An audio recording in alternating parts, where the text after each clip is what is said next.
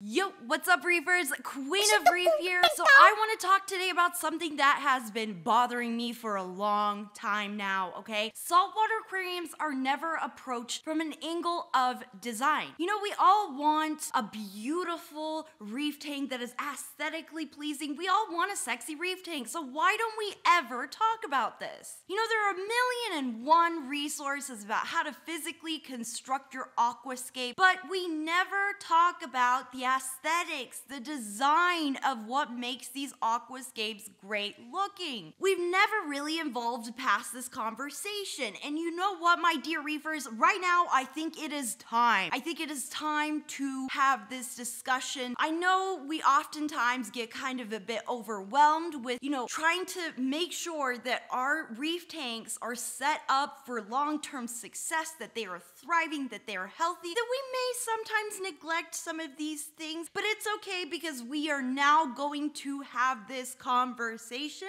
How can we make our reef tanks look more aesthetically pleasing? How can we make our reef tanks look more harmonious and look balanced to the eye? In this Aquascaping and Coral Placement 2.0 series, I'm going to go through the five major guiding principles of design and how you can apply those principles to your reef tank. I've touched on a few of these principles in recent videos where I talked about how strategically placing your corals can make them look artificially brighter and how using depth in the Fibonacci sequence can make your aquascape look better to the eye. However, I feel that we need to go more in depth and focus on the theory behind these principles individually and the reason why they can make your reef tank look beautiful. These five principles are the basic components of what makes any kind of design aesthetically pleasing. They are the foundation rules architects, graphic designers, interior designers, and so on and so forth rely upon to make their masterpieces. But just like designers, the creativity and logistics of how you implement these rules is up to you. Because these principles are just a viewpoint or, you know, a way of perceiving your aquarium's design, the logistics of if and how you can incorporate them is up to your discretion. However, as a disclaimer, never sacrifice the health of your aquarium for the sake of tank design. Your livestock's health, needs, growth patterns, and aggressivity always, always comes first. These are not hardline rules that I'm about to share with you, and they may not always be viable in reality because of those considerations you need to make. But with that being said, because these concepts are abstract, there are endless ways that they can be incorporated. My goal with this video series is just to simply apply these principles of design in a way that hopefully inspires you guys when you are forming your decisions and judgments based on the practical factors of your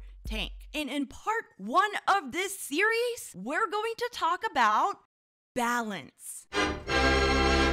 You ever looked at your aquascape and think it's nice, but something about it just feels off or incomplete, even? You may be subconsciously responding to a lack of balance in the structure. A balanced aquascape just feels right. It feels visually stable and aesthetically pleasing. While some components of the rock structure may be focal points and attract your eye, no one area of the aquascape draws your eye so much that you can't see other areas. Balancing an aquascape involves arranging both rock and negative space in a way that no one area area of the aquascape overpowers other areas. Each component of the aquascape works together and fits together as a seamless whole. Balance is easy to understand outside of the reefing world because we experience it all of the time. When something is unbalanced, it falls over. Just like a seesaw with one person on one side and another person on the other. If the two people on either side were about the same size, they can easily balance on the seesaw. This seesaw here is balanced. The two people here are equally distant from the seesaw center. If the person on on the left makes the seesaw rotate counterclockwise, the person on the right makes it rotate counterclockwise by an equal amount. But if one person on the seesaw was a lot bigger, the balance would be thrown off completely. See how this picture here just doesn't feel right? We know the person on the left isn't big enough to balance the person on the right. However, if the larger person slid towards the center, then the seesaw would be balanced. Visual balance is just like this. Physical weight is just replaced by visual weight. Rather than the actual weight of an object, visual weight is how much attention an object draws to it in comparison to other objects. Objects. Visual weight can be altered by size, color, contrast, or the density of an object. For example, a larger square draws more attention to the eye than a smaller square. A square that is highly contrasted draws your attention more than one that is not. A bolder or brighter colored square draws more attention than a pale or dull colored square. And a square like the one on the right draws your eye more because of its perceived density using negative space. Now, the goal of creating balance then is to make sure that there is an even distribution of visual weight, either through size, color, contrast, or density.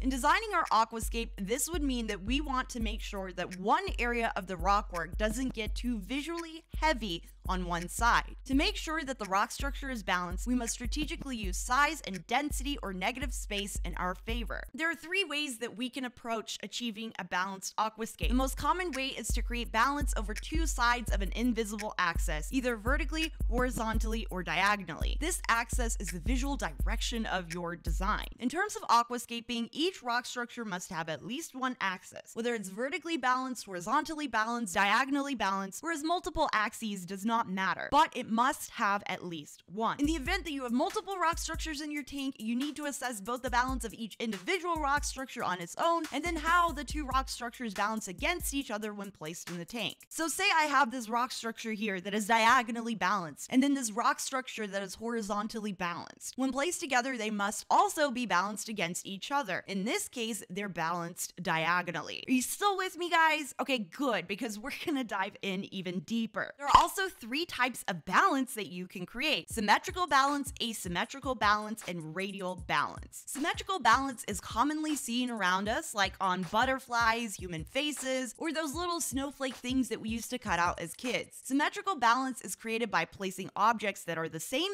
visual weight and the same kind of visual weight on each side of an axis. Each of the subject on one side corresponds to the same visual weight on the other side. Just like this aquascape, where the rock formations mirror each other across a horizontal axis. Try not to overuse symmetry when designing an aquascape though. Too much symmetrical balance can easily become a bit dry and a bit boring. While incorporating some symmetrical elements may make sense, real reefs in nature are never truly symmetrical, so keep that in mind when designing your aquascape. Asymmetrical balance is commonly seen around us as well, like in trees or natural rock formations. Like symmetry, it is also balanced on both sides of the axis. However, asymmetrical balance takes takes into account the total visual weight of the objects rather than one object directly corresponding with another on the other side of the center. Take the seesaw example from earlier. Asymmetrical balance would be like a man sitting on one side of the seesaw while five small children sit on the other side. The seesaw still balances, but it takes five small children sized objects to equal one of the man sized objects. Asymmetrical balance makes things dynamic and lively. In aquascaping, it's the best technique of balance to incorporate because it mimics the randomness of nature, just like a real life reef. Lastly, radial balance is when elements appear to radiate from a central focal point. This can be used if you want eyes to be drawn to the center of your design. So if you're one of those central mound aquascaping types, radial balance is the key for you. When creating radial balance, it's tempting to just place rocks equidistant from the center, but there are also other ways to create balance in these kind of scapes. One way is to place the visually heavier rock structure closer to the center while placing a visually lighter rock structure at a distance, as long as if the line, if it were possible to draw a line between them, passes directly through the center point. The structure still remains balanced this way because just like the seesaw analogy, physics tells us that a heavier object closer to the center of the seesaw can be balanced by a lighter object at a distance. These three methods of balance can be used in combination with each other to create contrast in certain areas of your aquascape, like balancing symmetrical forms in an asymmetrical symmetrical way or, or balancing asymmetrical forms symmetrically. You can break up a symmetrical aquascape with a random feature to add a certain flair, or you can contrast symmetry and asymmetry to make certain areas get more attention. It's all up to your creativity. So why use this method of balance? Well, when things are balanced in an aquascape, harmony is created. Balance is important to create a sense of unity in your overall aquascape design. When designing a scape layout, take a step back and ask yourself if the overall structure feels balanced. If one area draws too much attention, experiment with size, contrast, or negative space to help redistribute that visual weight. So let's take a look at some real life examples, shall we?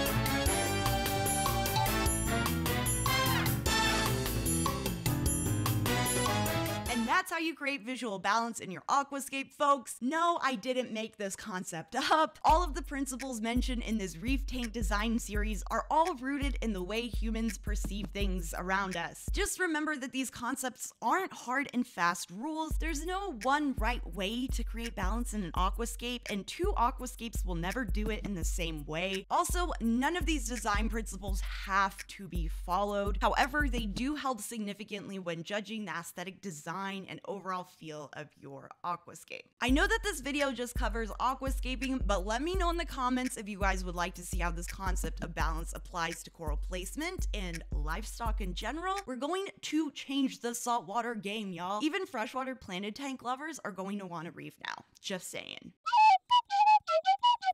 It has come to my attention that I seriously butchered last week's video. I guess it's not called plumber's tape, but actually it's called Teflon tape. Hey, you know, if it's used for plumbing, I was close enough, right? And to make matters worse, we also placed the plumber's tape, ahem, Teflon tape, as you guys call it, incorrectly. I guess I should just stick to reef tank design topics, huh? And this is by far the best advice I've ever seen for plumbing an aquarium. I'll definitely keep that in mind for next time. Also, a platform ladder is most definitely appropriate. You know, it's not easy being vertically challenged. You know, you gotta hand it to short people like me because we can't reach it.